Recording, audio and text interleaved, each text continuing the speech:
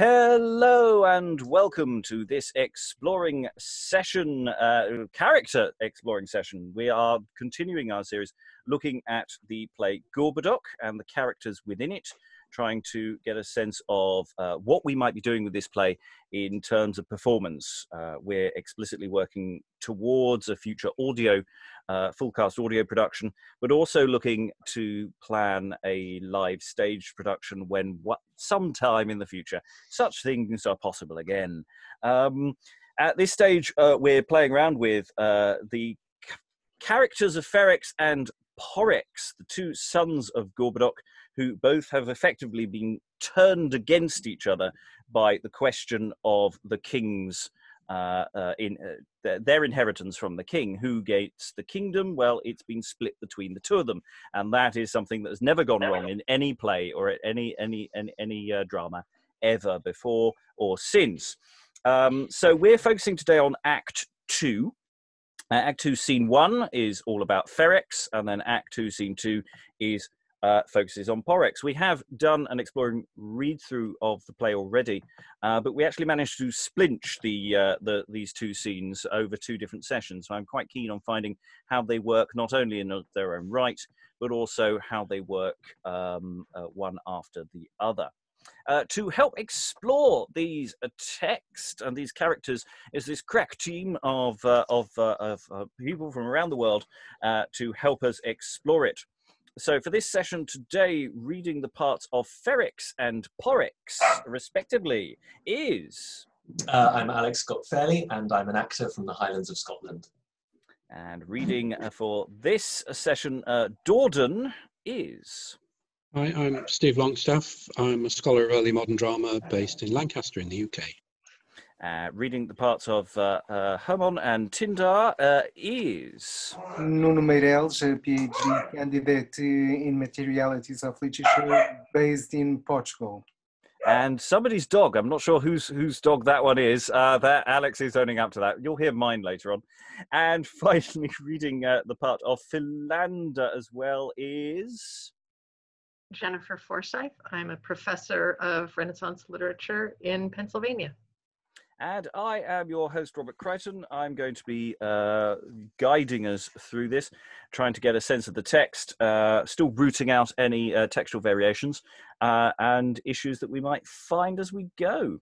So, for uh, ease, we're going to just start with Act 2, Scene 1. We're just going to read through the text a bit at a time, probably a page at a time, uh, pause, discuss, dissect, and then move forward. So uh, let us begin. This is Ferrex, Hermon, and Dordan uh, in in uh, some some discussion in Act Two. I marvel much what reason led the king, my father, thus without all desert, to reave me half the kingdom, which by course of law and nature should remain to me. If you, with uh, stubborn and untamed pride, had set stood against him in rebelling wise, or if with grudging mind you had envied so slow a sliding of his aged years, or sought before your time to haste the course of fatal death upon his royal head, or stained your stock with murder of your kin, some face of reason might perhaps have seemed to yield some likely cause to spoil ye thus. The wreakful gods pour on my cursed head eternal plagues and never dying woes. The hellish prince adjudge my damned ghost to Tantalus's thirst or proud Ixion's wheel, or cruel gripe to gnaw my growing heart to during torments and unquenched flames, if ever I concern so foul a thought to wish his end of life, or yet of reign. Now, yet your father, our most noble prince, did ever think so foul a thing of you?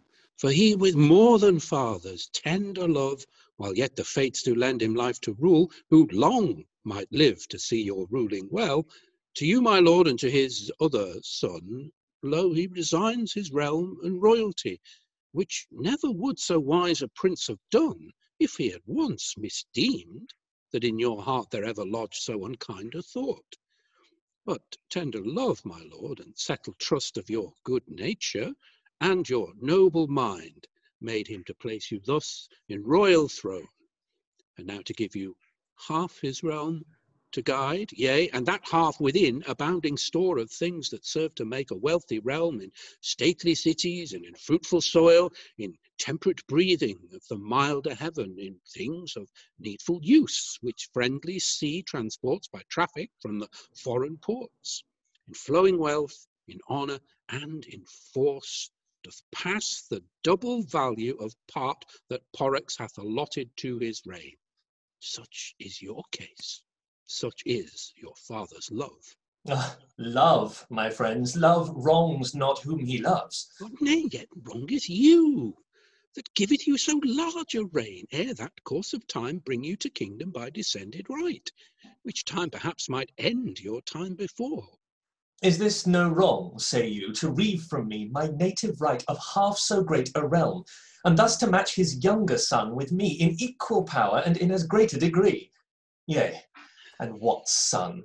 The son whose swelling pride would never yield one point of reverence, when I, the elder and apparent heir, stood in the likelihood to possess the whole. Yea, and that son which from his childish age envieth my honour and doth hate my life. What will he now do? when his pride, his rage, the mindful malice of his grudging heart is armed with force, with wealth, and kingly state. Was this not wrong? Yea, ill advised wrong, to give so mad a man so sharp a sword, to so great peril of so great mishap, wide open thus to set so large a way. Alas, my lord, what griefful thing is this? that of your brother you can think so ill. I never saw him utter likely sign whereby a man might see or once misdeem such hate of you, nay, such unyielding pride. Ill is their counsel, shameful be their end, that raising such mistrustful fear in you, sowing the seed of such unkindly hate, travail by reason to destroy you both. Wise is your brother and of noble hope, worthy to wield a large and mighty realm. So much a stronger friend have you thereby, whose strength is your strength, if you agree in one. And there we'll just pause. Okay, so we've got a sort of sense of the positions, just to remind everyone where we are. Uh, Ferrex um, and uh, has his two uh, councillors, one pushing one way, uh, one pushing the other. I thought we'd pause before we get to the massive speech um, that's coming up, which I think we'll take in, in chunks um, before we uh, go too far with there. Um, well, a couple of textual issues I've just noticed, which I'd hoped I'd started stamping out. Um, so, Ferrex, in your uh, second speech, uh, if ever I concerned, that should be conceived, for, so foul a thought. Oh. Conceived. Um, otherwise, it's mostly a few minor punctuation things, uh, which we can dance around. So, Ferrex, um, where I think we know where the position of your two councillors are. Where where mm. is your head at? Do we think from where we where where we are with just this this opening? It feels like. Uh, yeah, it it sort of well the the way I've been reading it is it sort of feels like he's already slightly made up his mind um, uh, at the beginning that Dordan's having to do quite a lot of work to sort of swing him around. Um, it, it's sort of it, it, it, to me it does sort of start slightly aggressively. I marvel much what reason led the king. I just can't believe this this the, the, the, what he's done. Um, that it seems that he's swaying slightly more towards that that sort of position that he has been wronged. Um, he, he seems fairly quick to cast uh, to, to, to, cast um, aspersions on his brother, who I don't think. Sorry, I was absent for the original for the original reading, so I'm just scrolling back. We don't see Porrex in Act One, do we? That's Ferrex that we see in Act One. We've met um, Ferrex before. He's been yeah. chatting with, uh, you know, with Videna. Yeah, yeah. You, you, are your, your mother's favourite, and mm. that's that's sort of the suggestion here is that uh, there is favouritism between the two parents uh, mm. going on. Um, And you defend Yeah. your father quite a lot in the first scene, uh, whereas in this one, um, it's it's a slightly different universe. Yeah. Um, yeah, it's interesting that we've kind of met one of the brothers and we haven't met we haven't met the other one. Um, so that everything that we have to know about Porrex goes on kind of what Ferrex is saying here, and he's not painting a particularly wonderful picture of him. Um, but he does seem fairly convinced that he's going to have to sort of start. The- I mean, the, the whole the, pair of scenes together sort of feel like an arms race, kind of sort of feel like you know the US and the USSA and the USSR in the 1980s, kind of game. we've, we've got to stockpile this in case they do that, um, and, and vice versa. And he's sort of the way I've read it, he sort of seems fairly convinced that, that that's what he's going to have to do. Um, um, and it sort of seems to me that that, that there's having to be more work done um, on the part of um, uh, Dordan, sort of convincing him that, that Daddy has not wronged him. Um, I think so far it seems to me that the particular way that I'm reading it, that Hermon has a slightly easier job because he's sort of saying what Ferrex wants to hear to my mind. Mm. Um, Well, there there is um, a case of uh, again a generational element, and you know that Ferrex and Hermon, uh, you know Hermon is is is you know down as a parasite, I, I think, or, or a minion. Um, I forget which word is used.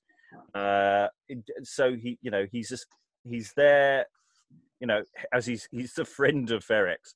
Um, Dordan is a counselor appointed by the king. hmm.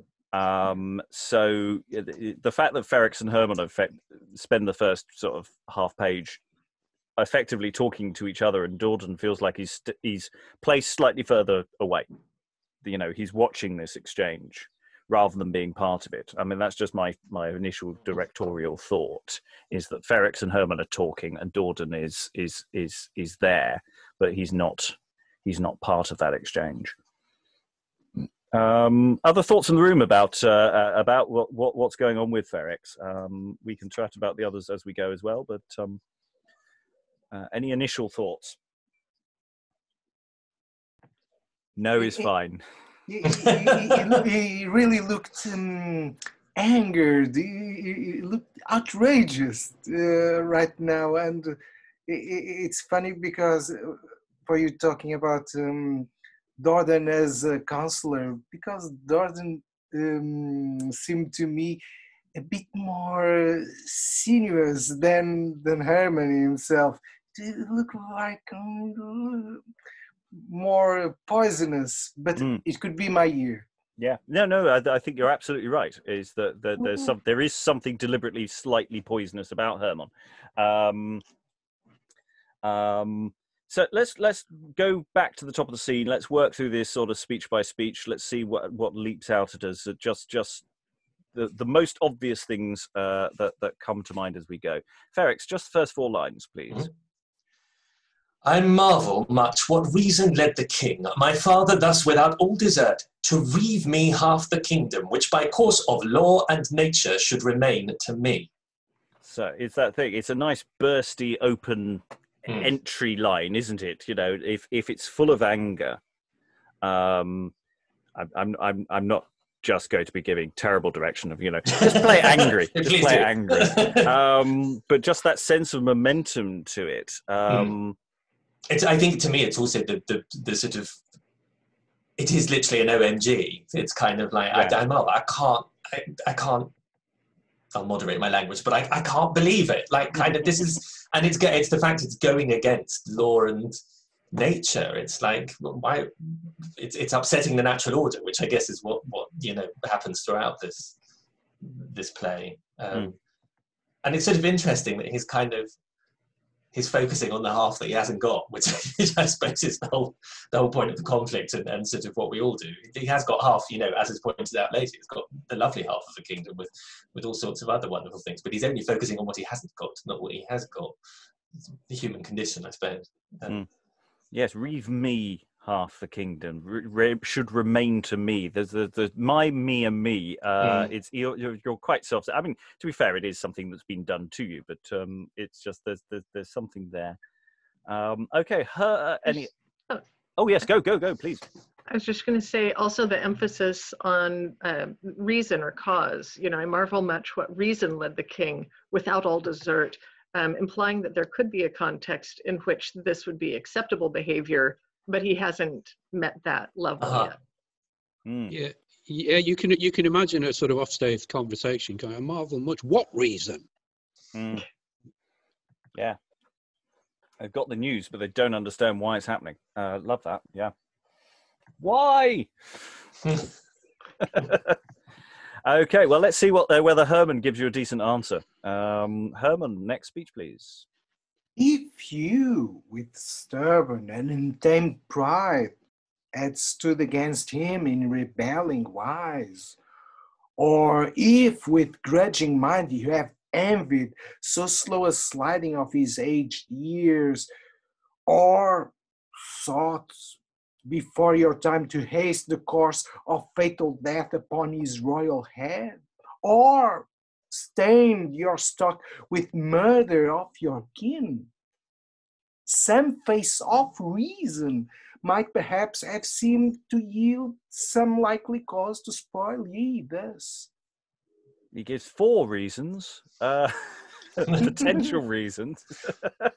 All of them very bad.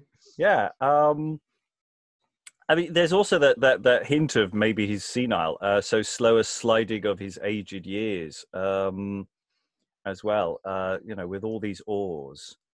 Um, to spoil ye thus. That's an interesting word. Um, to ruin, ruin, uh, do, do da- the air, despoil ye. Um, other other thoughts about Hermon? I mean, it. I mean, it could be. We could be being unfair that Hermon is actually this is all perfectly legitimate and it's fine. It's not an unreasonable thing, but as Mm, it does sort of lend itself to that. I mean, the sort of dynasty style hyperbole of all the things going up that you you you could have done just from you know being a bit pissed that he's senile to kind of literally clobbering people and, and murdering them. There, there does seem to be some, and because it's written in that quite. I think we talked about the sort of like legalese construction of this, didn't we? When we when we hmm. read through it, and those those continuous clauses that add one more bit that it's sort of ramped up in terms of hyperbole does feel to me like he's sort of just is slightly seeing where Ferrex is and kind of pushing him a bit further with all these outrageous things that he could have done, but he hasn't done. He's been a model son, you know. It's um, you could have it's in- slaughtered someone, but you didn't. Uh, there's no reason for this. Stephen. Uh, I was thinking about Spoil and, and Reave um, because uh, where I live, you know, there, there was something called the Border Reivers. uh, It's a, this sort of long period of Anglo-Scottish history, which is basically raiding. And so uh, the Reivers are people who will just sort of charge 30 miles down the road and just uh, take spoil. And uh, the, the way uh, he, Ferrex is talking about it is, is as if he's got it already and and he's being invaded by somebody who is making off with it. Mm. Uh, so Reave and Spoil seem to me to sort of talk to one another as words there. There's a kind of through thought, um, Mm. which is not that I should get it one day, but it's mine already and he's Mhm. taking it off me. Well, th- th- uh, that suggestion with Hermon, you know, grudging, um, or if with grudging mind, you would envied so slow a sliding of his aged years. You know, you've been sitting here watching. You've been perhaps taking on some responsibilities. You've been doing the job, um, and you've been- been doing it without complaint. Uh, you haven't. Uh, you haven't been complaining about uh, any, anything like that. Um, you could have done. I, I think that one out of the list is the one that doesn't fit with the others, the envy, because envy isn't something you do; it's something you feel. Mm. Right. It's a- And go ahead. No, no, I was going to say it's a thought crime, isn't it, as opposed to an, act, isn't it? Um, Mhm. and I, I'm not sure. I mean, to me, it doesn't suggest that th- that Gorboduc is um, is senile yet, or you know, this he envies that it's slow, right? That he that he is not declining faster. yes, yes, he he just won't die. Yeah, he's still in he's still in full uh, possession of his faculties. What's wrong with what's up with that? Uh, any uh, any more thoughts? Okay, Ferrex, next speechette. The wreakful gods pour on my cursed head eternal plagues and never dying woes. The hellish prince adjudge my damned ghost to Tantalus's thirst or proud Ixion's wheel, or cruel gripe to gnaw my growing heart to during torments and unquenched flames, if ever I conceived so foul a thought to wish his end of life or yet of reign. Oh, you're really, really, you absolutely, definitely don't don't want The him to die young. you? Lady doth protest too much. it's slightly overstated, isn't it? It's not only just, yeah. Yeah. it's like literally go to Tartarus and be chained to a rock and have your liver gnawed out. If if I've ever once had a bad thought about him, Hmm. um, yeah, it's it. It, it, it, it, is totally hyperbolic as, as as far as I read it. I, I mean, Um, it, you know, if we're going with, I mean, the suggestion that we we've got with Ferrex is that you know he's he is an has an open, honest face. Um, that you know that that you know maybe it's maybe it's all absolutely true. You you know it, it, on face value, you genuinely don't think that it's your wicked counselor who's trying to push that thought into your mind. Um, that you you you uh, you you could have cause to be annoyed with your father beyond what he's just done. Um, but it, it, is throwing up that again that why, isn't it? Why I've I've never done anything wrong to him. Why I I, I would never. This is how far I would never do him wrong. Mm. Um,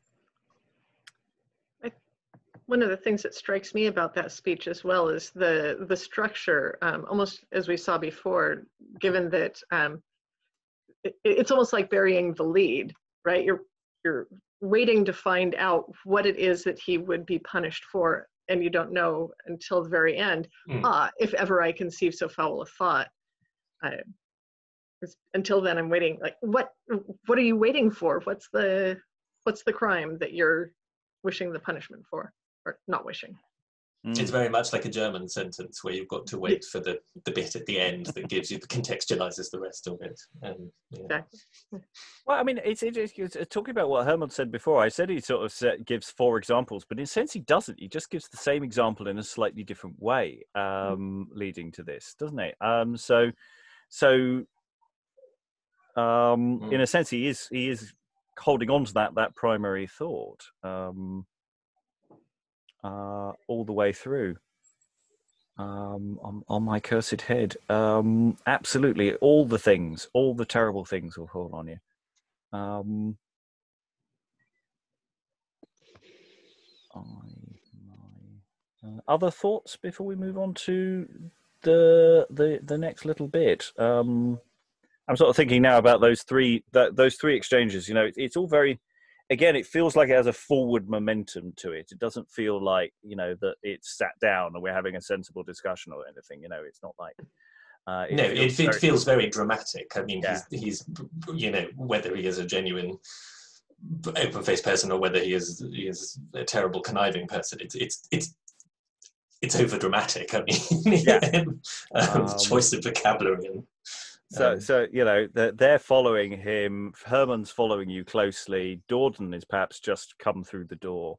Um, so that that becomes the task. If you are very demonstratively moving around and pacing back and forth and and being very, very up there and out there, then Dordan's job here is presumably to bring you back down to earth.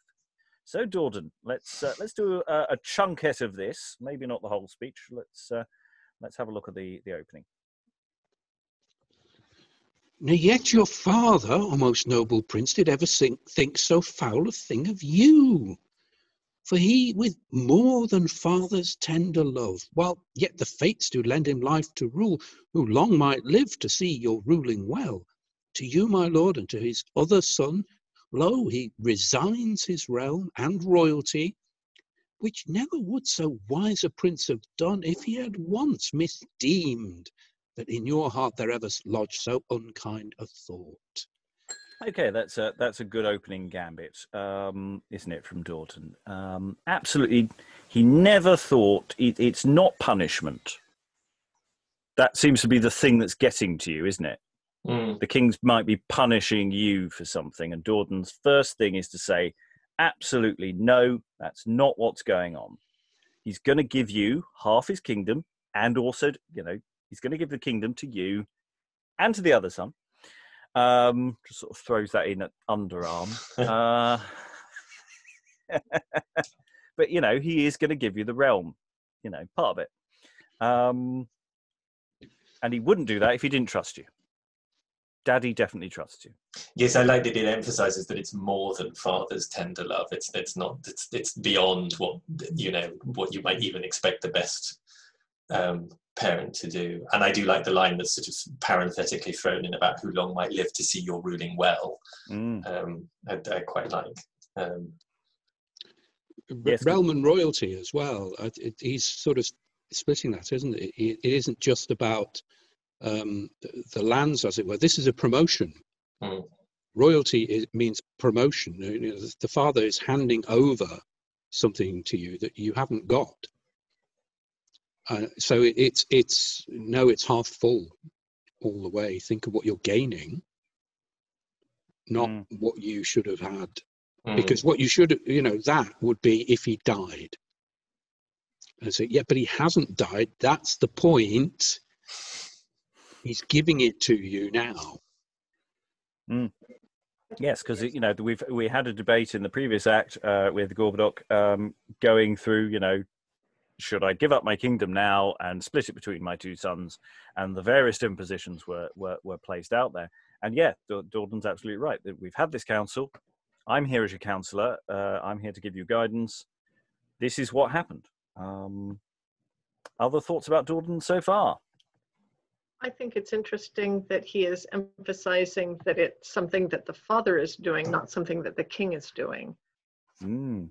And I think that um, it was Ferrex's first two lines where he said, I marvel much what reason led the king, my father, right? And kind of like, oh, these are similar, but they're separate at the same time. Mm. Uh, you know, and uh, yes, so yes, knee your father's fathers. Um, uh, and it, also, it's it's the fact that Dordan is using "O most noble prince" uh, to Mhm. you, my lord. Um, does Hermon use any such language like that at all? Just looking back, um, I don't think he does. He just talks to Ferrex like an equal. Um, so that contrast is really interesting, actually just in terms of the nature of their relationships. Dordan's is a, a is a counselor. You know, there's a certain distance and you know respect for Ferrex's position. I don't think Hermon has that. He's a mate. mm. It's nice as well to just going back to that father point that actually that ties into what Stephen was saying about the royalty. That actually, if he long might live to see your ruling well, that he's going to give up that part of himself to you and presumably retire to civilian life and just be a father rather than the father and the king. Um, Mm. Yeah. Um, okay. Uh, anything else before we move on? Okay, let's finish the speech then, uh, Stephen. uh, But tender love. but tender love, my lord, and settled trust of your good nature and your noble mind made him to place you thus in royal throne, and now to give you half his realm to guide, yea, and that half within abounding store of things that serve to make a wealthy realm in stately cities and in fruitful soil, in temperate breathing of the milder heaven, in things of needful use, which friendly sea transports by traffic from the foreign ports, in flowing wealth, in honour, and in force doth pass the double value of part that Porrex hath allotted to his reign. Such is your case, such is your father's love. Yeah, as uh, as you've already pointed out, you, you're getting the best deal. You're getting the best deal there. You're getting all the good stuff. You know, um, uh, I was going to just misalign, malign a couple of uh, uh, English cities. I won't do that now. Uh, but uh, yeah, you're, you're you're you're getting all the lovely places, um, wealthy places as well. Um, and we've got it. It's interesting that we've got um, uh, from foreign parts or foreign ports um, are two uh, variants uh, that I've got available there. So uh, it might be ports, it might be parts. Um, uh, It doesn't really matter. It it's a it's essentially the same thing. Uh, but tender love, going with the love thing again. Mhm. It's you know leading with that, leading with the love, and then the rational list of good things. Um, you know, Dordan knows you're possibly in an emotional state, shall we say? I, uh, I quite like the fact as well where the line and now to give your half his realm to guide before yay sort of almost feels like it's it's preempting an objection Mm. from uh, from Ferrex that because he's just emphasized half your realm to guide. Yay, and that half with you know, and and it's the good half. I know it's the half, but it's the good half. Um, that it almost feels that, that he sort of keeps going because Ferrex is about to counter that with "Will you put your finger on it?" It's half the realm to guide. It's not the whole realm to guide. Um, if Yeah. is in, in yeah, no, that that's that's nice because it again it also breaks up the the the, the, the flow of thing. Um, Mm. you, there's a couple of points where actually that throughout that you could be trying to interrupt, Mm. um, and that that that feels like it's got um, that's got legs. Um, okay, let's let's run this page from the top, unless anyone's got uh, uh, additional thoughts uh, before we do that. But what I'd like to do is run in a moment this page uh, with lots of energy and, and focus and emotion and all over the place, Ferrex. Um, and Stephen, uh, as Dordan, talk him down. And don't be afraid, Ferrex, to try and interrupt and break in. I like that as an idea. I think that that works really nicely. Um, and just uh, and Hermon, uh, you know, just just give it, give you know, really, really stoke him up, um, perhaps with with what you're doing, um, Mhm. all your all your wheedling uh, ness. Uh, but keep keep him keep him uh, keep him thinking on all the bad things because that's all you do. You're talking. You just keep repeating negative things: death, dead, death, dead, dead um, murder. It, it's all negatives you're talking in, um, uh, and things. Any additional thoughts before we do that? No. Okay. Let's uh, run that from the top. Let's just run that page uh, into the the the the the, the, the, the Ferrex's next line after that. Uh, just as the little objection, I'd like to hear that line said before we pause. I marvel much what reason led the king, my father, thus without all desert, to reave me half the kingdom, which by course of law and nature should remain to me.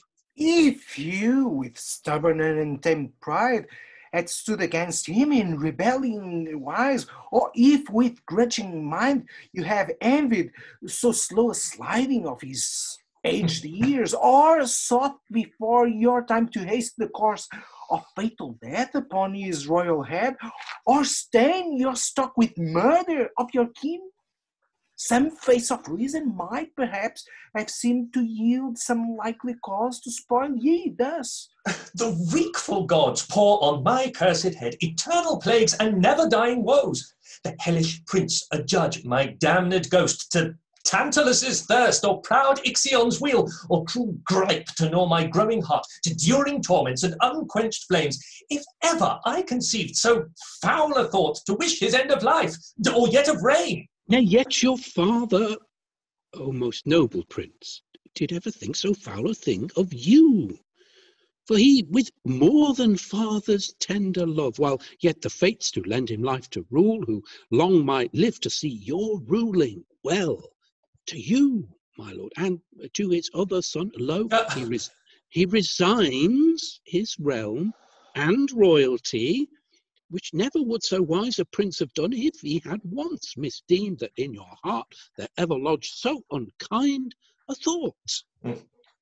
But tender love, my lord, settled trust of your good nature and your noble mind made him to place you thus in royal throne and now to give you half his realm half? to guide, and, yea, yea, and that half within abounding store of things that serve to make a wealthy realm, in stately cities, in fruitful soil, in temperate breathing of the milder heaven, in things of needful use, which friendly sea transports by traffic from the foreign parts, in flowing wealth, in honour and in force does pass the double value of part that Porrex allotted to his reign. Such is your case, such is your father's love. Ah, love, my friends. Love wrongs not whom he loves. Yet wrongeth you giveth you so large a reign, ere that course of time bring you to kingdom by descended right, which time perhaps might end your time before. Is this no wrong, say you, to reave from me my native right of half so great a realm, and thus to match his younger son with me in equal power and in as great a degree? Yea, and what son? The son whose swelling pride would never yield one point of reverence when I, the elder and apparent heir, stood in the likelihood to possess the whole. Yea, and that son which from his childish age envieth my honour and doth hate my life. And what will he do now? When his pride, his rage, the mindful malice of his grudging heart is armed with force, with wealth and kingly state. Was this not wrong? Yea, ill-advised wrong, Hmm. to give so mad a man so sharp a sword, to so great peril of so great mishap, wide open thus to set so large a way. Alas, my lord, what griefful thing is this, that of your brother you can think so ill? I, I never saw him utter likely sign whereabout my man might see or once misdeem such hate of you. Nay, such unyielding pride. Ill is their counsel, shameful be their end, that raising such mistrustful fear in you, sowing the seed of such unkindly hate travail by reason to destroy you both. Wise is your brother and of noble hope, worthy to wield a, a large and mighty realm, so much a stronger friend of you thereby, whose strength is your strength, if you agree in one. If nature. Sorry, I'll just pause you there. Um, Okay, okay. uh, I, I, I, I let that run on because it felt like it was being productive and it was it was good. I like the momentum there. Um, noticing interesting things as we did that. Um, Ferrex, you'd never caught. He's not your brother, is he? Ever? He's his father's No, other son, his yes. younger son. What son? The son. That son. I mean, there's no brotherly love there at all. No. um uh, uh, that that was fascinating and, and i just love the art my friends my friends you know it's it's it, you're almost doing that to the gallery aren't you?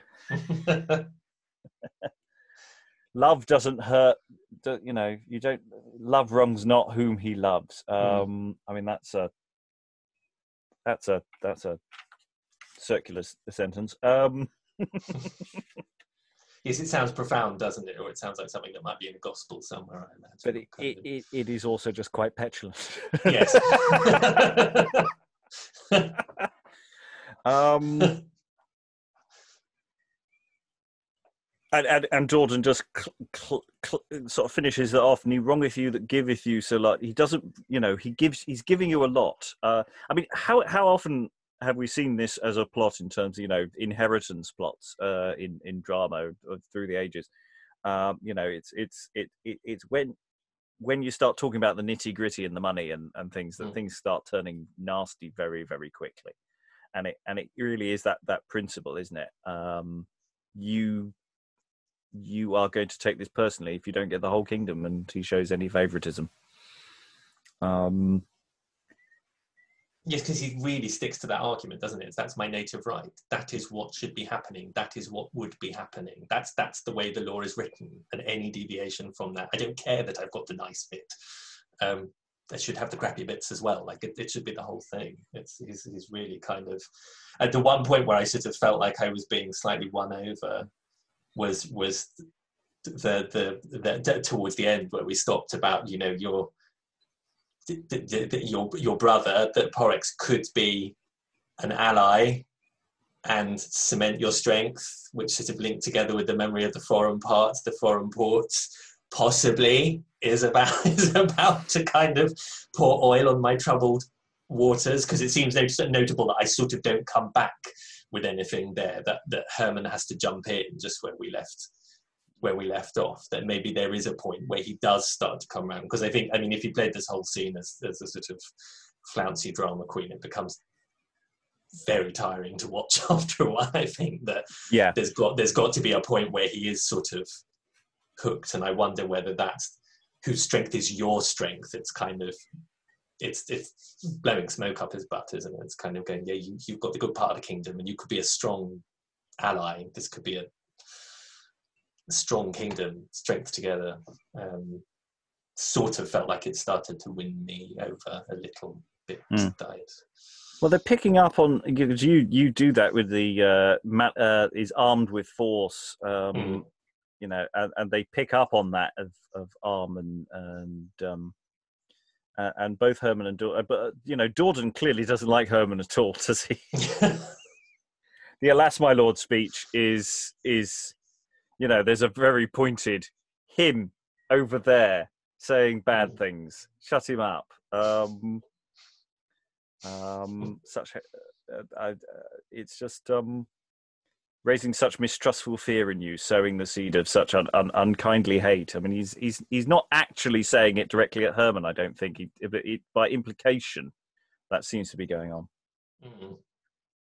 And this is all taking place at just sorry, just to remind myself that because there's been that dumb show beforehand, hasn't there, of the the two glasses. So I guess stylistically, whether that was tied to this somehow, the clear glass and the poison chalice. Ah, oh well, you you, you you don't want to actually get into what the dumb that dumb show's about because uh, there's there's uh, there is um, some variation actually uh, right. Okay. Um, that that is possibly a rewrit- rewrite of what was originally presented. Right. Um, but yeah, it's also deeply uh, obscure. Uh, its meaning. I, I I think let's not go with the dumb show as a good motivator at this time.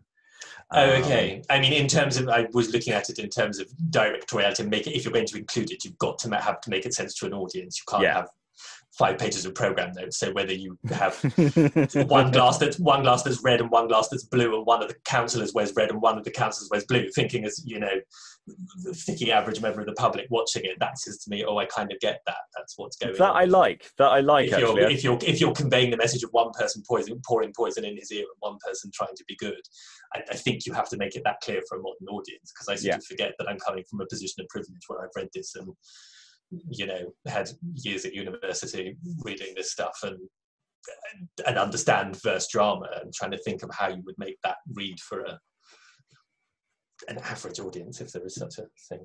Yeah. things. Well, I mean, yeah, you're right. You've got to throw the audience a crumb. I mean, it, Yes. it does sort of get explained in the chorus at the end of the the act, Mhm. but um, as a piece, it, it is the most opaque of the of the dumb shows that we have in this play. Uh, the others are actually relatively straightforward. Yes, I Uh, like the one with all the armed men shooting one another. That was Yeah, easy to it's great, understand. Um, So if if we're thinking about that in terms of staging, then um, if we're talking about that at this point, oh yeah, go for it. I'm, I mean, I'm just picturing, uh, you know, like if we have the traditional psychomachia kind of uh, going on. Um, when we first uh, started talking about the scene, we were saying kind of we're we're foregrounding Ferrex and um, and what's his name, Hermon, um, and and Dordan is over on the side. Uh, but that kind of doesn't convey the same kind of like we're both here talking one in each ear. Mm. That's what I'd originally thought when I read it. Was like the almost cartoon angel devil kind of on the. Um, Yeah, yeah. Um, so is that is that something that we would want to visualize developing during the scene, having having Dordan kind of like moving into that framework? I- Um, I, I, I, I do see that the uh, would physically in, in, intervene in some some sense, and you know would want to separate Ferrex from from Hermon because he's obviously poison. Um, I, I, I, I, that's sort of how I'm se- seeing this going. Is that Um, I mean, when we first read it, I think we were talking about them them sitting basically in front of the PlayStation. You know, the Hermon and uh, uh, and Ferrex are just sort of were doing it. It was was much less animated. I seem to recall having a conversation along those lines. And then you know, Dordan was in the background, just going. Now, I think we should talk sensibly about these things. Um, uh, It sort think- also reminded me of that sort of um, who's the character in Lord of the Rings, uh, the sort of Grima Wormtongue thing. The, the monarch ends up kind of I can't remember the monarch's name because I'm not a massive Tolkien junkie, but the, the sort of um, that, that- him in him in the sort of throne with Grima sort of over the top of the throne, and the, the other councillor sort of more physically distanced um, from him, I guess.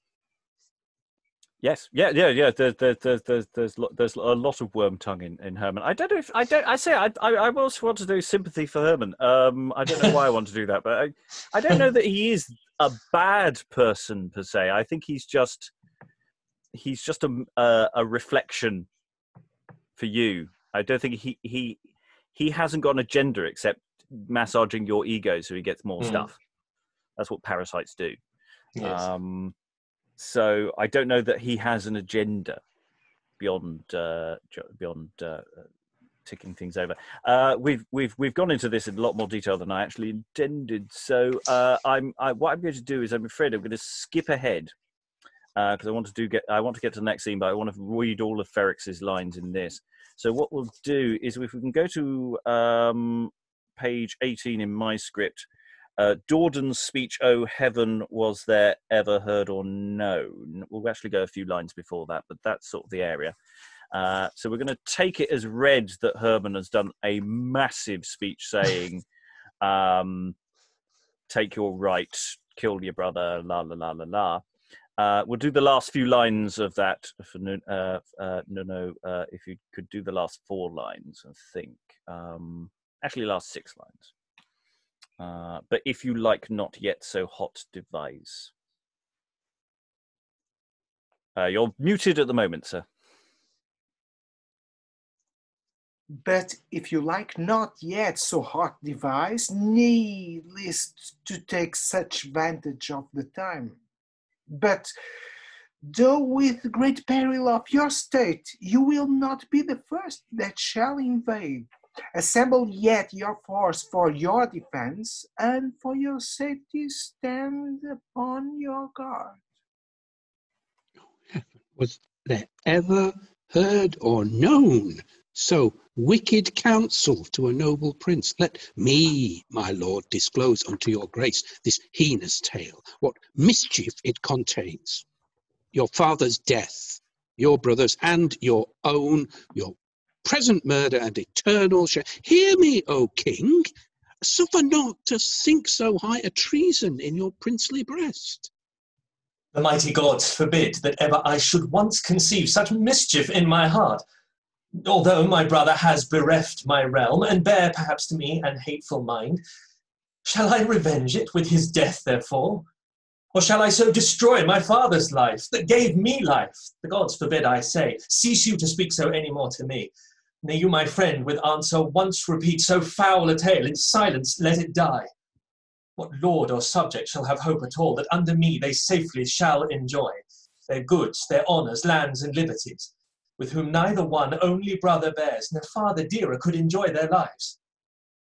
But sith, I fear my younger brother's rage, and stith, perhaps some other man may give some like advice to move his grudging head at mine estate, which counsel may perchance take greater force with him than this with me. I will in secret so prepare myself, as if his malice of his lust to reign break forth with arms or sudden violence, I may withstand his rage and keep mine own.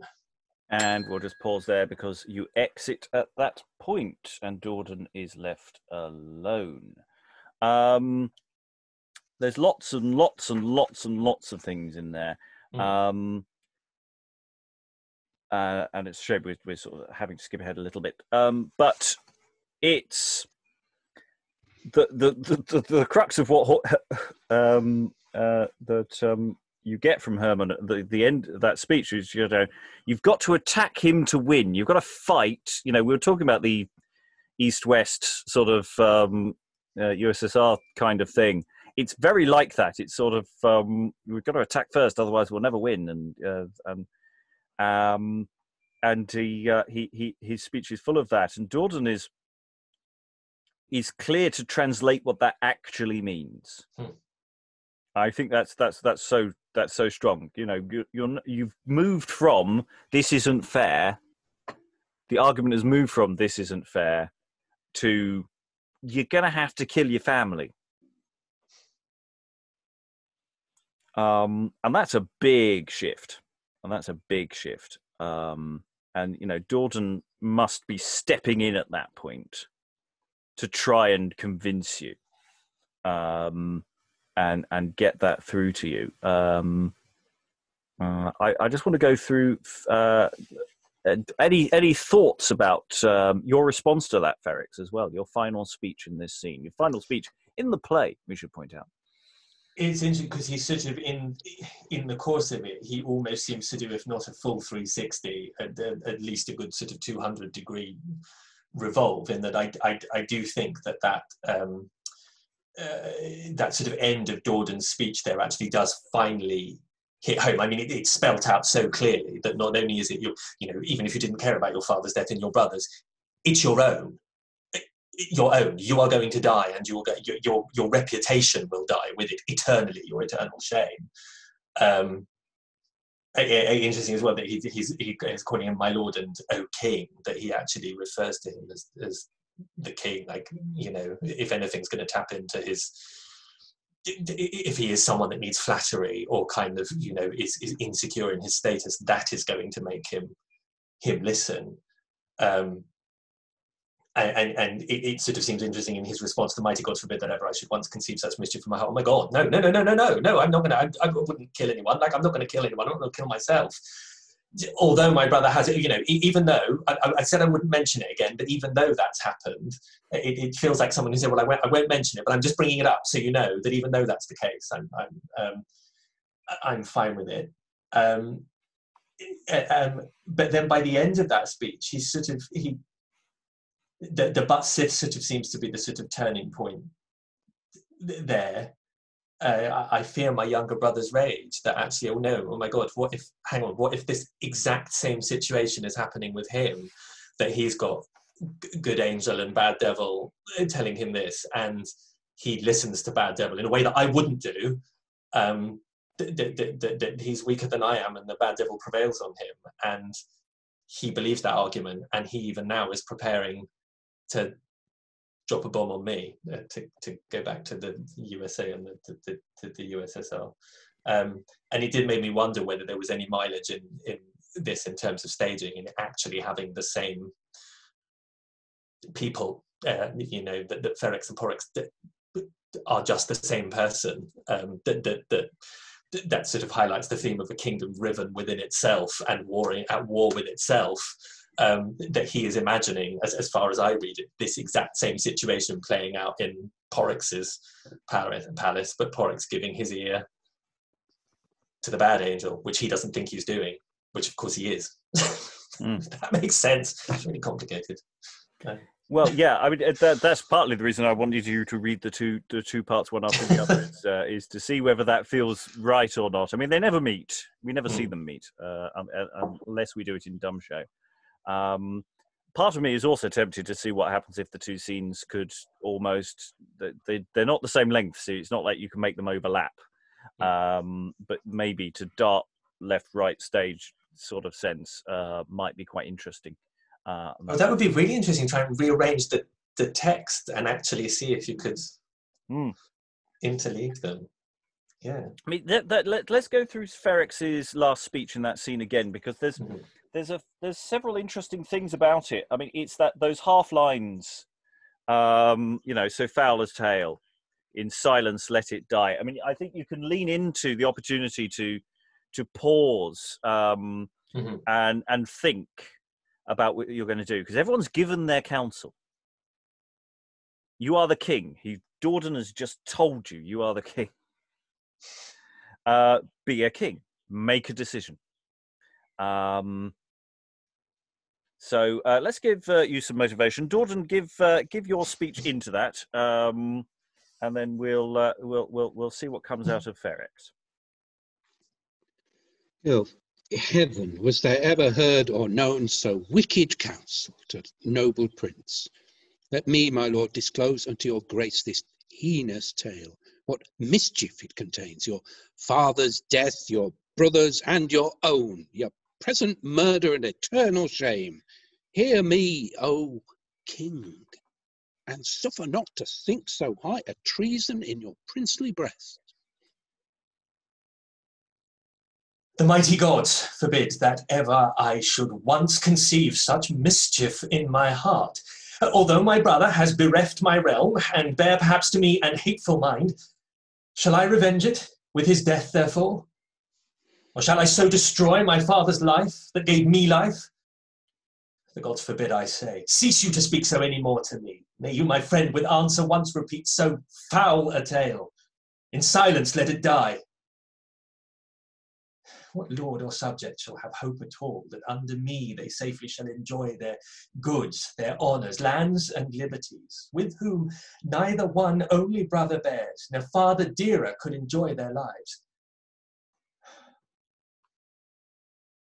But sith I fear my younger brother's rage, and sith perhaps some other man may give some like advice to move his grudging head at mine estate, which counsel may perchance to take greater force with him than this with me. I will in secret so prepare myself, as if his malice of his lust to reign break forth with arms or sudden violence, I may withstand his rage and keep mine own. And thus he exits. Yeah, that's much much clearer. He doesn't want to be doing this course of action, but he feels he's being forced into it. And he is telling his mate to shut up. Mm. Um, so he's actually showing a certain level of wisdom here. It's not like he is a foolish man going down a foolish road. He knows it's a trap. Um, and, and he sort of feels like he hasn't got the choice, that there isn't a choice, um, but to go down that road. Um, Which sort of feels like he's he's sort of talking himself into a compromise slightly. I, I will in secret, so prepare myself. So I'm not going to yeah i'm not going to make a big show which ultimately probably ends up being worse because you know it's sort of we've been doing that clandestinely um, but that I, will I'll sort of try and have the best of both worlds in a compromise that that isn't really a great one you know i, I will behave myself and but, but i'm going to prepare a stash of weapons just in case yeah um, never plays out well Well, clearly you don't prepare well enough because you're you you you you are going to die. Um, but that's fine. That's fine. Uh, no, we don't know that. Actually, we pretty much do know that. the play constantly tells us what's about to happen. Um, uh, so that, that that I find fascinating. I would love to linger and go over more of that, but this is about Ferrex and Porrex, so I'm afraid uh, we will move on to Porrex now. Um, so Act Two, Scene Two.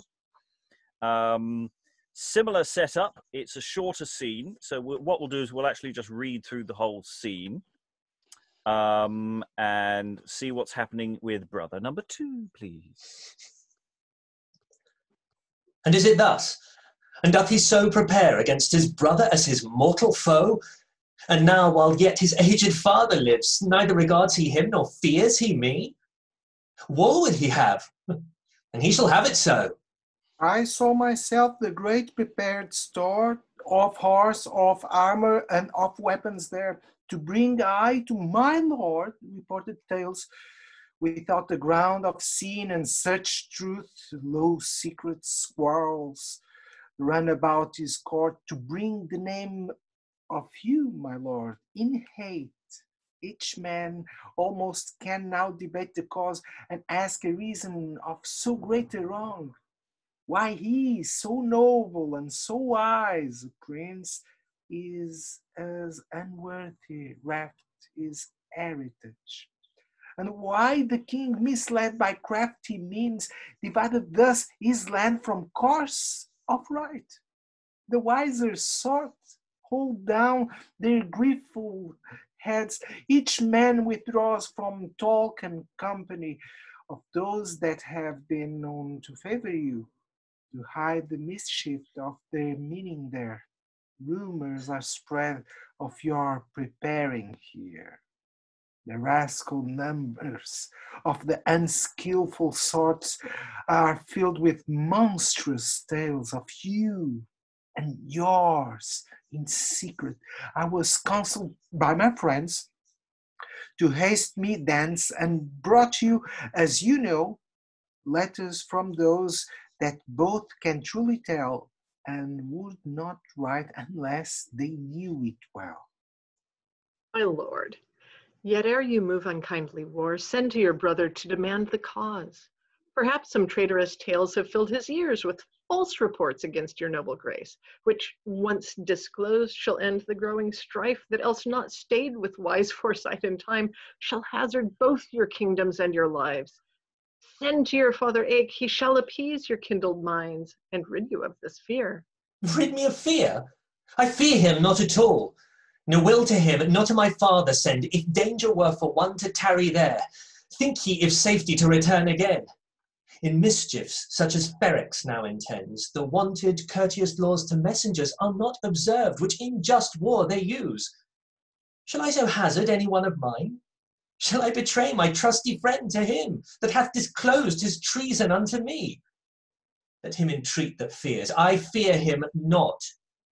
Or shall I to the king my father send? Yea, and send now, while such a mother lives that loves my brother and that hateth me. Shall I give leisure by my fond delays to Ferrex to oppress me all unaware? I will not, but I will invade his realm and seek the traitor prince within his court. Mischief for mischief is a due reward. His wretched head shall pay the worthy price of this his treason and his hate to me. Shall I abide, entreat, and send, and pray, and hold my yielding throat to traitor's knife? While I, with valiant mind and conquering force, might rid myself of foes and win a realm. Yea, rather, when I have the wretch's head, than to the king my father will I send the bootless case may yet appeal his wrath. If not, I will defend me as I may.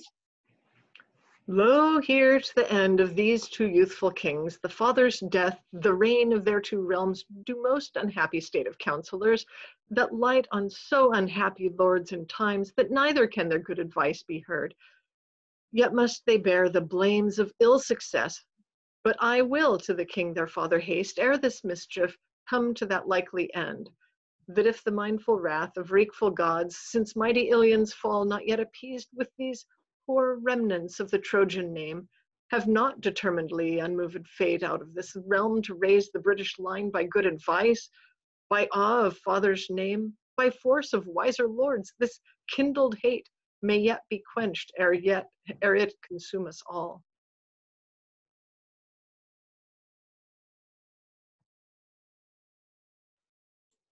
Robert, you're Mute, mute. Robert.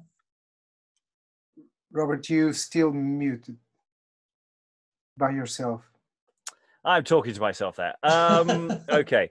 Uh, I mean, clearly we can't run the two scenes to, uh, at the same time because they do follow actively on from each other. Tyndar has, you know, gone out as a spy, and he's seen the nuclear weapons, and um, and is, uh, you know, is is you know, he's got, got a point, and it, it's um, you know, you've been got all this news and Philander is doing a desperate attempt to say, "Oh no, it's, it's maybe it's not true. Maybe it's not true. I've got the dossier. I've got the dossier. Um, maybe it's not true." Uh, the the only bit actually where I I think it might work. You run the two things together. If if Philander and uh, Dordan uh, meet in a bar after the two scenes, and they're they're sort of the, the two speeches sort of overlap. You know, go. We told them, didn't listen didn't listen.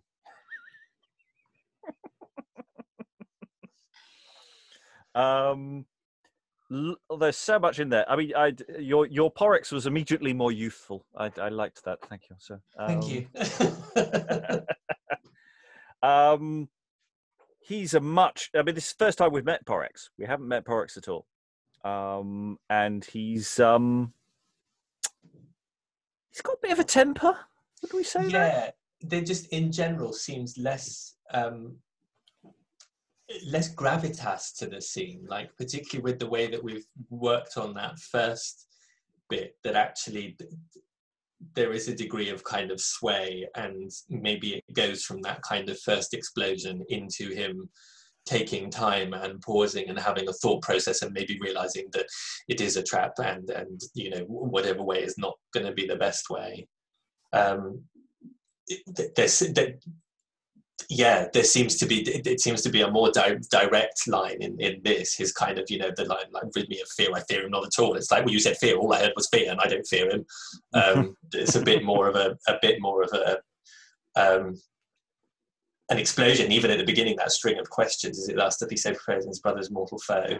Fear not me. What would what would he have? Which is going to be one of those lines an actor will absolutely hate because there's no way of saying it that doesn't sound like Yoda from Star Wars. What would he have? what would he have? I'm sorry. Just, um, yeah, he he does seem much more sort of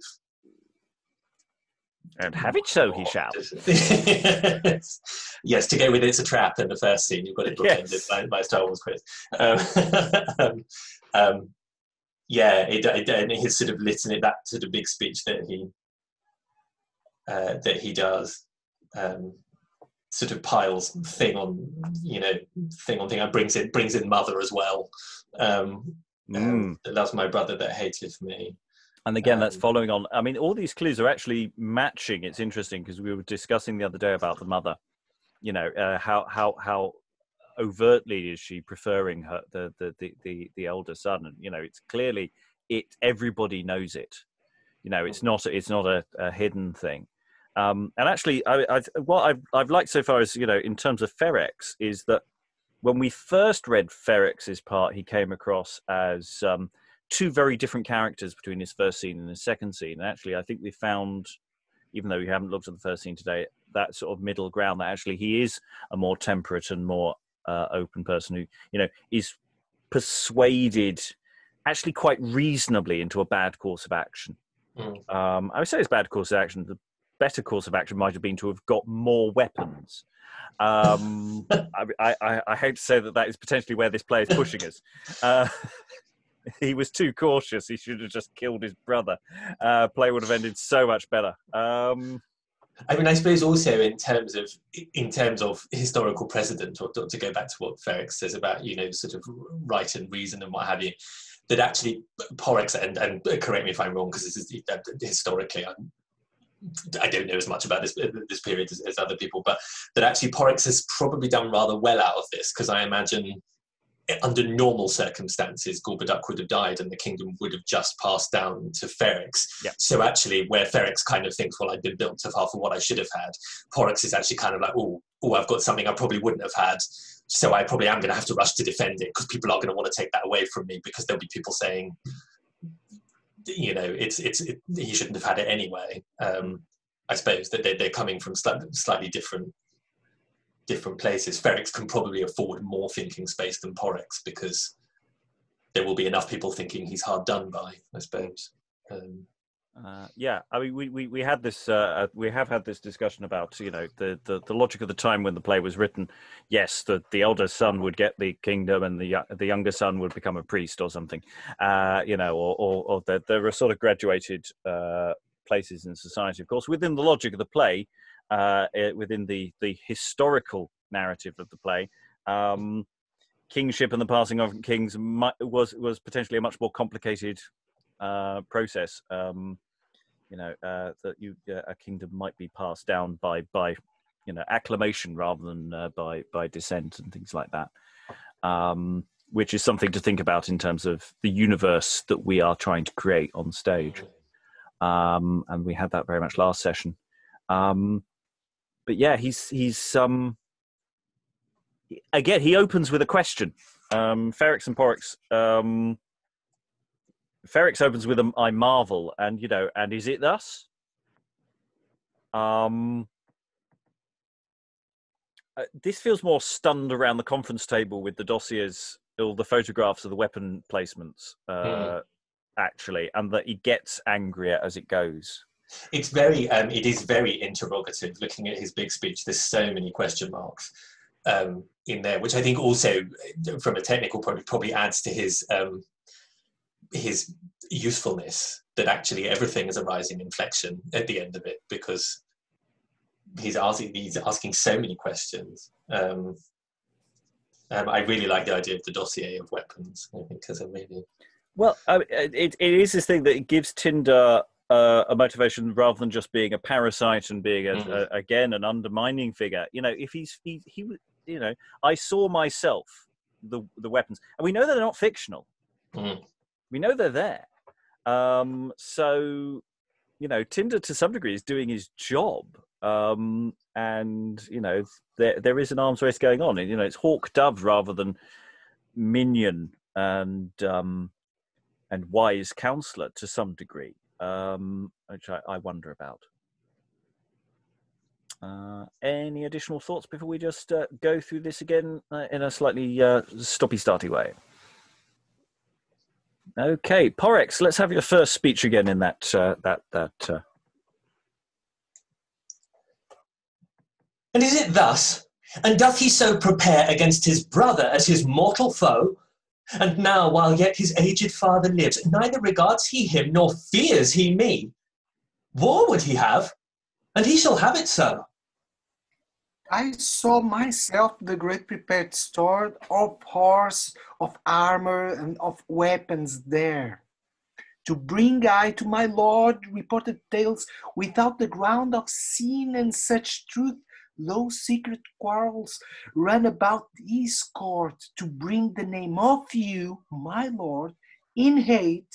Each man almost can now debate the cause and ask a reason of so great a wrong why he, so noble and so wise a prince, is as unworthy reft his heritage. And yeah, yeah. I'm just going to pause us there. Just going to pause us there. Um, yeah, it is like he's watched a video spying on the previous scene, isn't it? I mean, you are reporting accurately, aren't you? Yes. Um, you know, secret quarrels run about his court. Um, But, um, but uh, y- y- yes, it can be a very accurate uh, description of uh, the, the, the, the last scene, but it is um, food for suspicion, isn't it? Uh, if you say to, about anything, oh, they're they're conspiring. Um, okay. uh, Hmm. But, but, but it seems that, that Porrex is, is talking, when he enters, is talking um, about something he just heard or being informed of. Um, but um, if is it uh, well, yeah, I- it's it- yeah, it's like the video's just gone down of the previous scene that they've just watched, um, or bits of it, and the dossier. And he's just sit- I'm just thinking with Porrex, maybe for this, t- uh, let's just go go from the top Mm. again. Uh, uh, but, uh, Robert, Yeah. by the way, that video thing would be a very interesting thing uh, in um in a scene Hmm. in, in the production. They seen the video. No. Yeah. Entering. Yeah, I, I, I just like the idea. Porrex uh, this time uh, slowed that all right down, like stunned Mhm. disbelief, and then Tyndar. You've just shown me in the present. You've shown him all the slides. You've shown him the video. He's got the pictures in front of you. Um, persuade him. Mhm. Persuade him. Okay, Porrex, be persuaded. And is it thus? And doth he so prepare against his brother as his mortal foe? And now, while yet his aged father lives, neither regards he him, nor fears he me. War would he have, and he shall have it so. I saw myself the great prepared store of horse, of armor, and of weapons there. To bring I to my lord reported tales without the ground of sin and such truth, lo, secret quarrels run about his court to bring the name of you, my lord, in hate each man almost can now debate the cause and ask a reason of so great a wrong. Why he, so noble and so wise a prince, is as unworthy wrapped his heritage. and why the king, misled by crafty means, divided thus his land from course of right. The wiser sort hold down their griefful heads. Each man withdraws from talk and company of those that have been known to favor you. To hide the mischief of their meaning, their rumors are spread of your preparing here. The rascal numbers of the unskillful sorts are filled with monstrous tales of you and yours. In secret, I was counseled by my friends to haste me thence, and brought you, as you know, letters from those that both can truly tell and would not write unless they knew it well. Uh, I, I, I'm really thinking that the previous scene, uh, either doing it live or not, or just uh, with with uh, photography, etc. Um, while Tyndar speaks here, you just get a replay of the previous thing, just being, you know, like there was a secret camera, just just just playing, not with the words, um, just just that images of because when he's talking about, you know, the wiser sort hold down their griefful heads, you know, if Dordan's done that, and then we get a picture and get a picture, I just I just like that this is so responsive to the previous scene. Mm. Um, and though it's not untrue, it's also slightly twisted and it's given spin. And I really think that's interesting. Um, other thoughts about uh, this so far? Yeah, it kind it it it was interesting doing that that opening Porrex bit a bit more slowed down, a bit of a kind of disbelieving energy. And even though he sort of ends on he shall have it so, it sort of still feels like there might be room for persuasion either way. Because uh, I'm also sort of trying to imagine what if you if you plonked an audience, a modern day audience in front of this that are not necessarily going to know the outcome, um, could you lead them to think that this is going to be resolved or or what have you? Are they necessarily expecting kind of civil war to break out and and and what have you. Um, and actually playing it with that sort of slight disbelief, and actually the fact that he's quiet for so long because because uh, Tyndar speaks and then and then Philander speaks, that actually it potentially is one of those moments where you look at a character on stage, kind of going, "What's going on in their heads? What are they going to come out with after all of this? Are they going to kind of respond to it with like?" that's a load of bollocks. I'm not going to go to war. Kind of, you know, the, the, the, or, or are they going to take the bait that's dangled? Which to me is the kind of like, it's the fear thing that sort of like that that prods him because I think he is afraid. I think Porrex is afraid. Like he is not in a good position. Um, he's well, got something he shouldn't have. Um, as he's going to say in a moment, you know, anyone who keeps mentioning "I'm not afraid" um, is clearly afraid. Um, uh, it's it's interesting. It's that last, you know, and he shall have it so. I mean, you could twist that and make it more of a question than a statement, mm. depending on how you want that that that to go.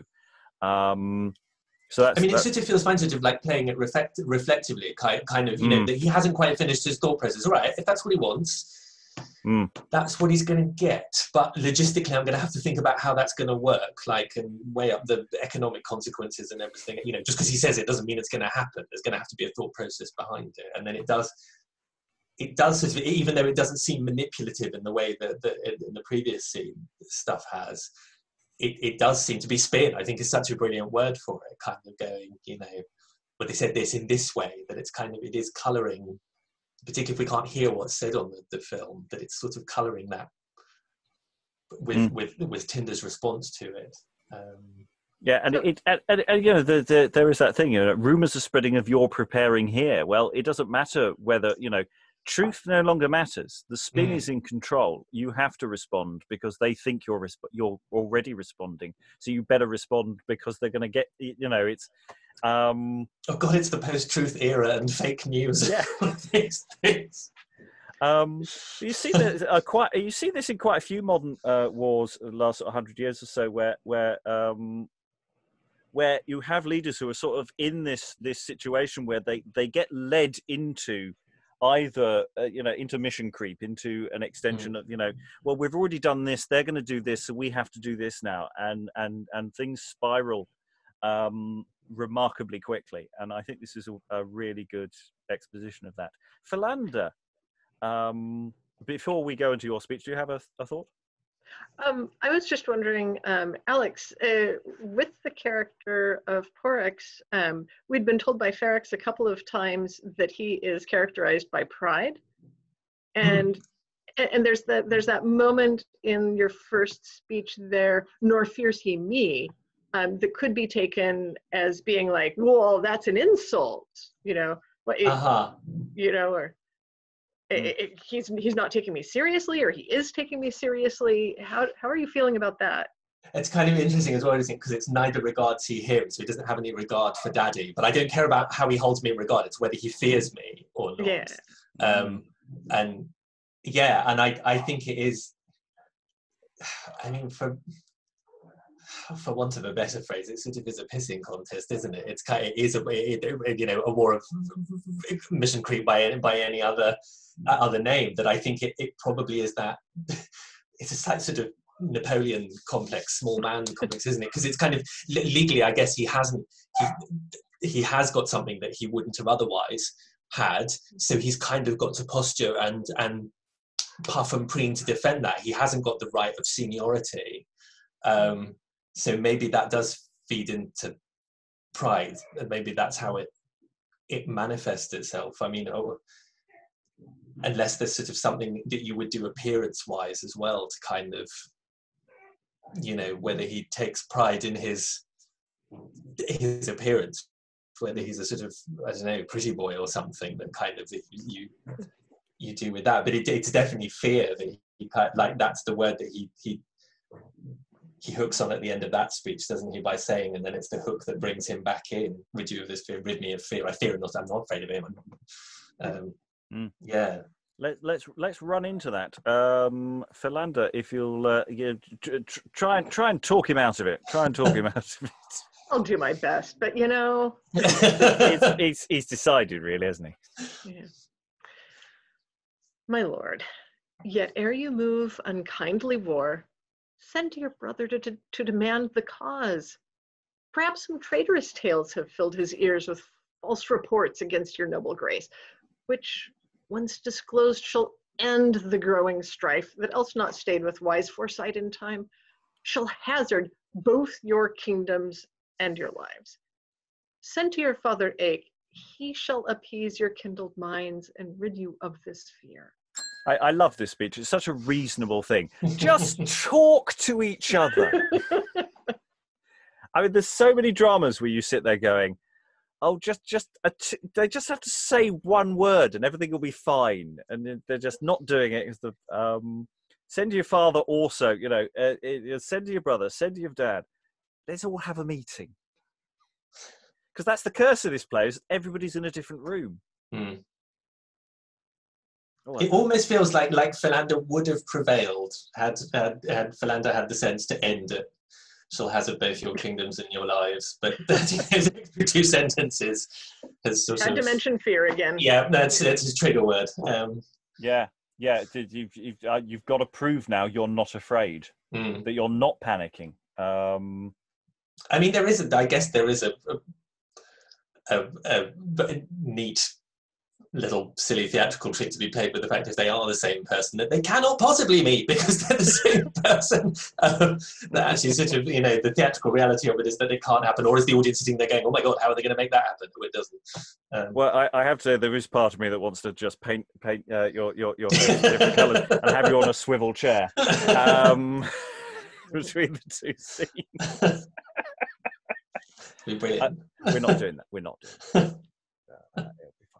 Um, okay, Philan- uh, Philander, just do your last two lines again. Let's go into Porrex's Rid Me of Fear. Uh, so give, give give him his trigger. Let's see where this goes.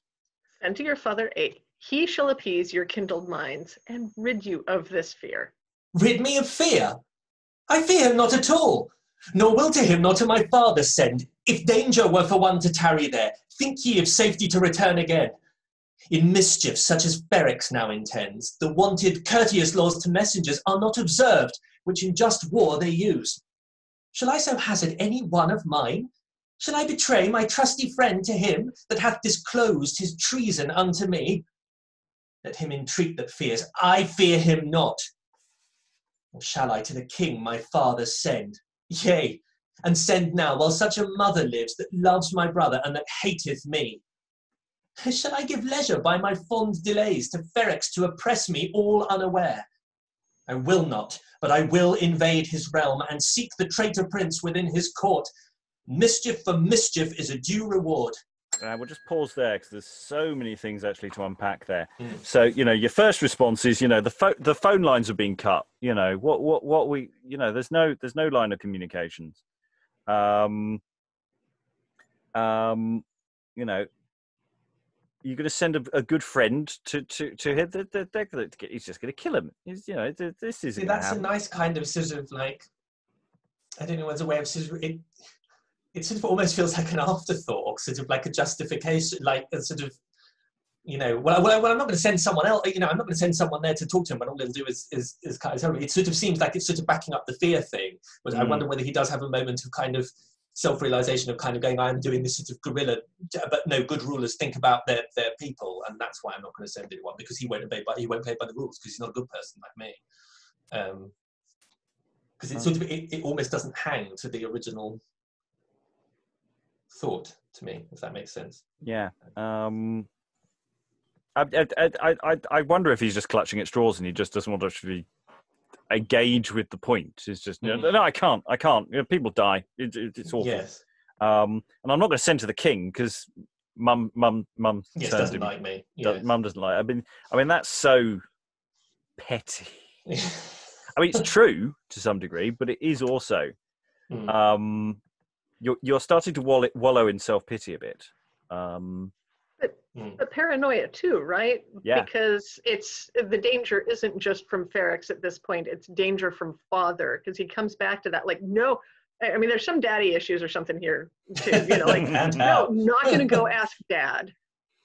Not gonna do it. Not gonna do it.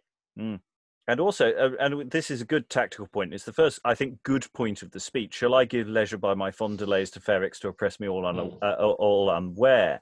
Uh, you know, I can't give my enemy breathing space to get himself together.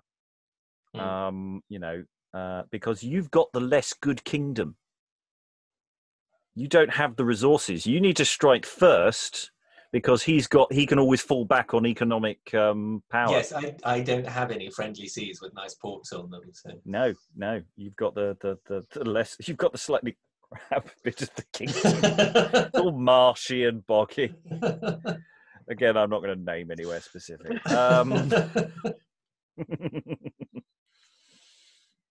um, yeah. So, um, yeah, it's it's. I will not. I did. I'm not doing it. I, I I fear him not. I shall. I will not. Um, but you're also asking the question again constantly. Shall I do this? Should I? Of course not. It's a stupid idea.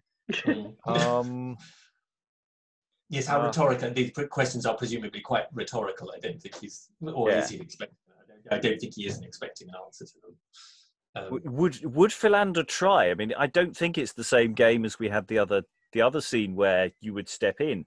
Um, the use of my lord is is more um, balanced between the two speakers. Actually, Tyndar and Philander both use my lord throughout. mm. Um, it's nice Tinder does, uh, you know, considering he's a dating app. Um, it's uh, that's quite impressive. I Um, wondered when someone was going to say that we, we, we, we, we were all over it last time. Um, we're thinking of just changing it to Tinderous just to make it sound a little more, you know, neo and Tinder, Tinder and Philander sort of go together. That's a totally different app, and um, uh, terrible things happen. Um, okay, let's uh, let's go back a little bit, but to go to the end of the speech. So um, I will not, but I will invade his. Actually, no. Uh, shall I give leisure by my fond delays? Go from there. Mhm. Shall I give leisure by my fond delays to Ferrex to oppress me all unaware?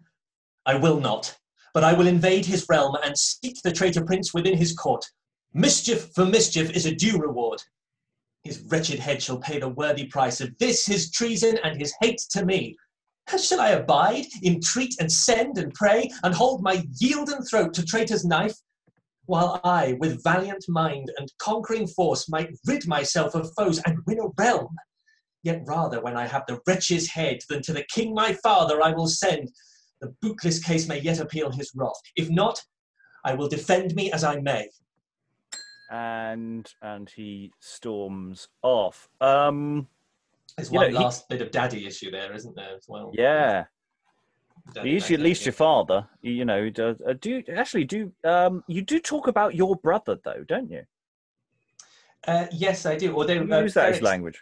Yeah, Ferrex does flip to brother later, doesn't he? I think. That loves my brother scene. to Ferrex. Well, you also use the name. I mean, the other one doesn't even give you a name. It's just your fa- uh, to Ferrex. You are father's son. Um,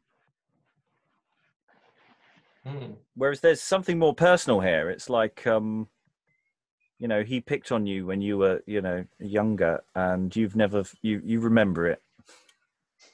Whereas he just didn't even notice. Just what older brothers do. Yeah. Um, as one. um, yeah, I mean, you, you escalate really fast here, don't you? You really go. Yeah. To, you're going to kill him. You've made that decision at some point. Was that made before you started? You know, had you already decided you're going to kill your brother uh, from, um, and he shall have it so in the beginning of the scene? I don't know. To me, it does feel like there is. To me, it felt like there was there was an actual a decision hadn't been made there, and actually, it's it's Tyndar's sort of enumerating of all the terrible things that are happening that is actually ratcheting up what's going on in his brain.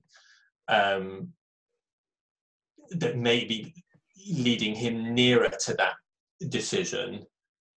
Um, I wonder if he I wonder if he is still un, undecided and it really is the kind of thing of like you are you you of this fear? You are afraid of him. Um, that, that particularly if he has been bullied in their youth like to not show fear of it to stand up to your bully and kind of go I'm not afraid. Um, that that that seems to me to to absolutely send him into this into this incremental kind of um, list of things. But I, I, I, agree with you that I do actually think he does he does make a couple of good points. If we are assuming that this arms race is inevitable, and then you know better to strike than be struck first, and particularly if you are in the weaker position and you have more to lose because you have less to lose, if that makes sense. Mm. Um, the, the whole kind of um, yeah, I'm not I'm not going to you know piddle around sending messengers and writing scrolls to the king and, and asking for mediation if that's going to leave me open to him coming in here and laying waste to my to my kingdom. And i love the line the line mischief for mischief is a due is a due reward. It's like it's tit for tat like kind of you know i've seen proof of it i've seen the photos i've seen the, the video i've been told by my counselors what's going on? What, what do you expect me to do? Mm. um, but he does he does go quite graphic with it, doesn't it? I, I, the, the, the lovely sort of like counterbalanced um, image of his yield and throat to the traitor's knife, Mm. um, and then I have the wretch's head. That's kind of really beautifully, um, beautifully balanced. But it, yeah, it does, it does get, it does get bloody quite quick. And I, I wonder how, I wonder what you could do. I mean, obviously, I can't do it on Zoom because it would be horrible. But, but how, um, how much, how much the physicality of the two is different um, Mm. in terms of, not just in terms of, of, of age difference between them, but whether Porrex is that little more considered and a little more studied in his movements, whereas this is kind of something really physical about it, particularly if you you know if you are talking about being around the table and with with photos, then what what that gives you to do in terms of using a using a prop or using those photos or you know um, to, to, to to sort of make this maybe a more a kinetic scene. I, I don't know. Um, it, it, it, it definitely there is a progression here you know you Mm. you you do go from you know once you get the triggering there it, it just keeps going those rhetorical questions. It keeps it, it it it's not like there's a lot of flowing speech. You actually get sort of single lines, double lines, um, uh, but each one sort of building on you know uh, on each other. I, you know, shall I wait for him to invade? No, I won't. I'll invade him, and then I'm going to cut his head off, um, rather than do anything else. Um, I'd rather do that than um, than send a message to my father because Mhm. uh, it's a waste of time. So there, off he goes, and it yeah, it just keeps building in quite terrifying ways. And they all storm out, and they take the documents with them. And Philander's the left there, tidying up the the, the last of the the photocopies. Um, pouring a brandy into into a into a from, from a hip flask into a in, into something and, and just left left mentioning Troy, um, which you know, as we all know, went really well. Um, uh, other thoughts in the room about this this this scene? I mean, it's not a very long scene. It's a very co- well condensed bit of action, but it it re- it's really nice that we've looked at the two scenes in tandem this time uh, I mean, he did. Porrex pretty much just. I mean, he, he has two speeches. I mean, it's essentially one speech, isn't it? I Yeah. mean, the, the first one is so is is so short. It, I mean, it is like I, I am impressed by this um, by this play's economy, if that makes Mm. sense, in terms of what it sort of compresses. And I, I was really struck by that in, in Act Five when we had the the original sort of read through of it, but that essentially, you know, you you met one of the the major characters, and you've sort of you've got everything within that speech that you need to work to. However you want to play him, there's so Mm. much in there that you can use to to to create that that character. And I, I really like the idea of like thinking about it from an audience point of view and, and what an audience expects. You know, when even when an audience that isn't, you know, a, a, a necessarily a dedicated theatre going audience goes to see one of the plays by he whose name shall not be mentioned, they have a sort of idea of what will happen in that play because they will have heard it at school or, you know, somewhere. Whereas with this, um, I'm just thinking of like Philander's sort of um, last speech here, here that may yet be quenched, Eric consume us all. Like whether you watch that as an audience and go, oh, that might lead somewhere. We might, that you know, it might everything might blow over. There might be some form of mediation, which of course um, there's not going to be. Like how far you can play with audience expectation, and I think it's interesting that we sort of don't see.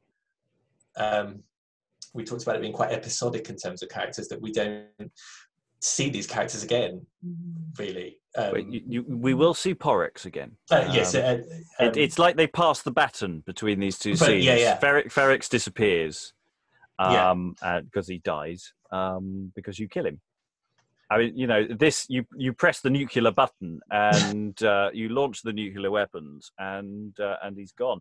Je- uh, Jennifer, I think that's what's really interesting to me. This point of um, the economy of the of the play and the way the the characterization functions with the complementarity of the two brothers, because I think we have Ferrex taking us up to the point where he's contemplating what if this is treason, it could be treason, and then we pick up with Porrex, ah, this is treason. It's treason, treason, traitor, traitor, and then wretch, um, which is I think a little funny.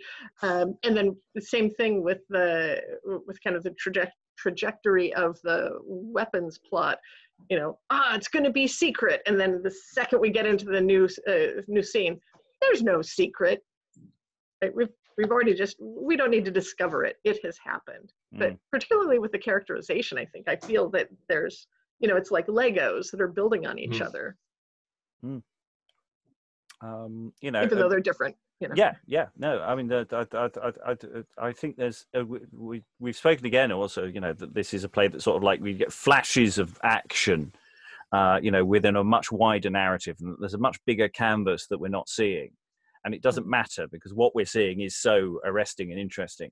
Um, I, thi- I, I think that's what I meant by in terms of the, the, the which you said passing the baton on from the characters. That as a modern audience, having had you know Ferrex built up in this way, we would expect to see him die or or or more to be added to that. And it's kind of we don't get that which is interesting i think for a modern audience who are used to these characters that are sort of fleshed out and delved into and brought back and particularly with the the economy of a lot of modern drama having to write for you know two or three actors uh, because that's all a, a theatre can budget for that we're used to having that. We're not used to having these these plays like this or you know noel coward's cavalcade which i mentioned before that sort of flash through through history where we see different characters and I and I think that would be something really interesting to play with in terms of audience expectation and doubling mm. um, and things like that. It also reminds me of um, that that uh, weird act in Fantasia, the uh, the Rite of Spring one with the dinosaurs, where you kind of have a scene play out there, and then that's the end of the Triassic, and then you have a scene there, and that's the end of that one. It's a huge span. Um, of, of, history, but um, I think it does something really unusual with, with uh, an amazing economy um, mm. to it. Yeah. I mean, it's, it's the thing we see in the dumb show after this act, um, the funeral for uh, for poor Ferrex. Um, uh, but you know, I have to say, as as a modern producer, there's going to have to be something battle death thing. Um, I mean, if we've got two actors playing the two parts, then you know, I'm sort of seeing a sort of uh, a, um, uh, sort of um, Antigone-esque brothers fighting in hand-to-hand combat kind of thing, rather than uh, uh, just killed in battle or whatever. Um, so you know, I, I'd, I'd, probably put that. I'd throw the audience a crumb there. I probably would. Yes, otherwise it's a bit disappointing, like one of those sort of soap funerals where no one comes back from it because all the actors have left, and you're kind of like, well, we didn't see it, so it doesn't, it has no emotional yeah resonance. um, but the use of visuals throughout this, I mean, you know, obviously not for an audio version, but you know, for the the, the use of visuals is is is it's invited by the original use of visuals to play around with how we do it as a, as a modern text.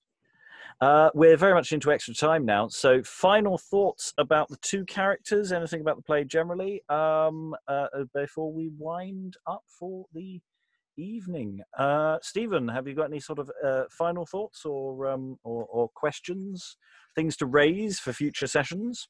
Uh, not really. No, I, I, I, thought Alex's last point about the economy. I thought that was absolutely fascinating point um, because because we've got a lot of you know kind of contemporary trained actors that you know people are, are looking for building parts. And what you're having to do here is is um, some kind of weird sort of metonymy you know where the, the whole thing is the part as it were in both senses.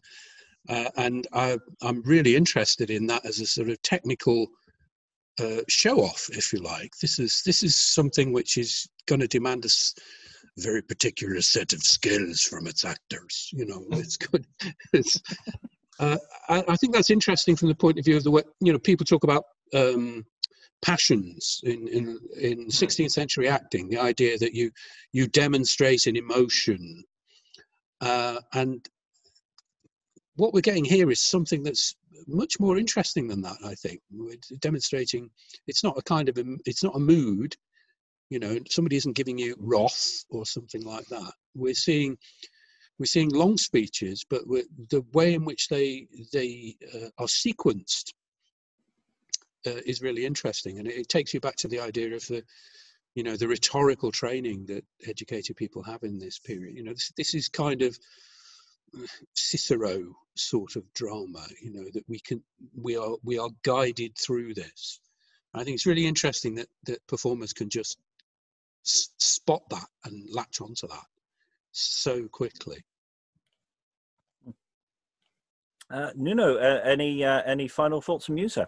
Um, complementing what uh, Stephen said um, about passions, and th- there was in this workshopping a bit of um, playing around with passion, because when when Alex did it um, less passionately, um, more um, kind of a rational way of acting, it, it seemed like um, a less emotional driven uh, character or characters. It, it, was it was for me it was interesting to see it. Uh, this this uh, twin character more of um, someone that is ill-advised or someone that is driven by those daddy issues or those brother issues we talked about that that that made uh, quite a difference. That would be something we would have to consider in the some kind of production. Is he in a in a killing mood or always or or both of them or are they in some kind of um, atmosphere or uh, social uh, milieu that, that just um, makes them like that. But okay, interesting. Mm. Yeah, I, I think that, that, there are big questions that we're all asking here, that of which we, we, we are not going to supply any kind of answers, which is oh. which is fine. Sorry, um, but you know that that the tone and the, the performance style for this, um, I mean, the, the text seems to be flexible enough to take lots of different directions. Actually, we could pull it down and we can do a we could do a very deep, you know, psychological profile on these characters. But and and I think the play would work, works quite well that way. Um, but also we could give it um, a, a, much more demonstrative acting style and I mm. think it, it would similarly work depending on context and venue um, you know this this this this this play is uh, uh, uh, does absorb those those those uh, those options. Uh, Jennifer, any final thoughts from you? Um, no, I was pretty much speaking as I thought. Excellent. Uh, Alex, any any last thoughts from you then, sir? Um, I think only what I said about it last time, which is that it's it's a revelation to me as a, as a play. I, I, I did have to read it at university, and I remember not loving it very much at all. Um, but but actually, that in I suppose it's the danger of reading a play, isn't it? That, that, actually in performance, there's so much more you can do it. You read it on the page and you're like, whatever. Um, and then you actually perform and go, oh no, well, there's stuff happening. Um, and I, I, I, think it is, you know, it, it is simultaneously economical and rich in, in what it does. And the flexibility of it has surprised me that actually there are different ways you could you could put it in. Also, the way it lands on the, the ear, and I know we we all sort of have our ears in for this type of drama, if that makes sense. Um, it doesn't seem as as uh, again. I'm trying to put myself in the position of someone watching this who's an audience member who is maybe not necessarily au fait with with all the drama of this period. It seems quite even though it's written in that, that Ciceronian style, I think because it's written in that Ciceronian style, because it's so well balanced, it's actually quite easy to comprehend what's going on. It's not one of those plays that you kind of read the speeches and go, what have I just said? Mm. Um, that, that, it's, uh, um, and obviously performance would help with that, you know, and I, th- and I, I have no qualms in adding those, those elements to a, to a thing like mm. this that kind of go, okay, if you need an equation, it's, it's, it's the dossier about the, the you know weapons of mass destruction or, or what have you. Um, mm. But yeah, I, I, think it's I think it's fantastic, and yes, I'm, I'm very much in favour of Gorboduc as a play, not the king. So. No. Um, I mean, it's, it's interesting because uh, today we, uh, this afternoon, we uh, we started reading finally Cambyses, um, uh, which is the same year or, or thereabouts uh, to this, and um, the the similarities and differences between these two plays um, are, are, are, fascinating as well. We, we, we said we very much enjoyed doing uh, Cambyses, um, uh, though yeah, very very different universe in in certain respects, um, very similar in others. Um, so that's uh, that's one for anyone watching this video. Do do uh, do also comp- not only go back to any of the other videos we've done on this, but also uh, go back to uh, uh, to have a look at Cambyses because it's an interesting con- contrast. You can have a lot of fun with. Uh, we will be coming back to Gorboduc at some point in the future. Uh, we're going to be peppering these uh, sessions uh, over the next few months as we work towards trying to pull together an audio production, uh, which will probably best will in the world won't come out till next year. Um, but uh, this is this is part of that process. So if you have any thoughts or additions or ideas or contradictions you want to throw at us we're on twitter at beyond shakes uh, or just leave a comment on the video um, or, uh, all the uh, all the all the things online. Get in touch. Uh, let us know what you think. All I have to say is thank you to all the wonderful readers and contributors today, and goodbye.